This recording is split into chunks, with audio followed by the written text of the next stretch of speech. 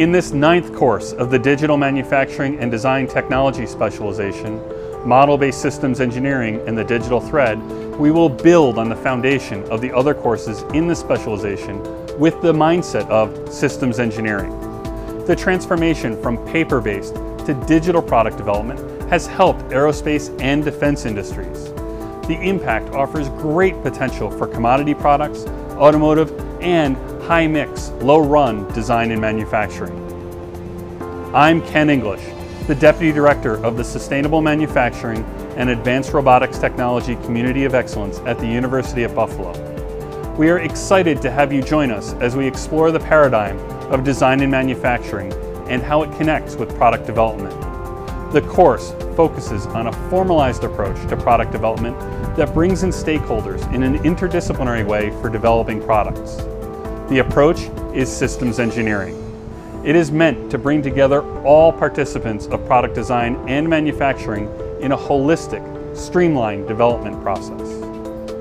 We start off this course with a look at systems engineering with a special focus on the recent harmonization of the International Organization for Standardization, or ISO, standards with best practices laid out in the International Council of Systems Engineers, INCOSE, Systems Engineering Handbook.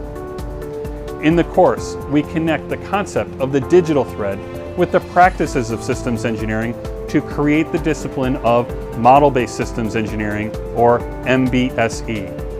We also integrate the concept of the digital thread and the practice of systems engineering with those concepts developed in other courses of the specialization, creating a vision for a model-based enterprise, or MBE. The course concludes with a structure that can help you establish an approach for self-evaluating readiness for adoption of the model-based enterprise.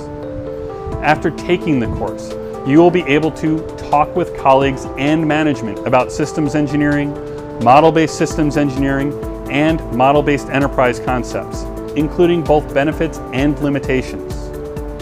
Along the way, we will bring in David Long, an expert in MBSE from Vitech. This course will guide you to making your company more responsive, allow you to be more involved in product development, and open up new career paths in advanced manufacturing.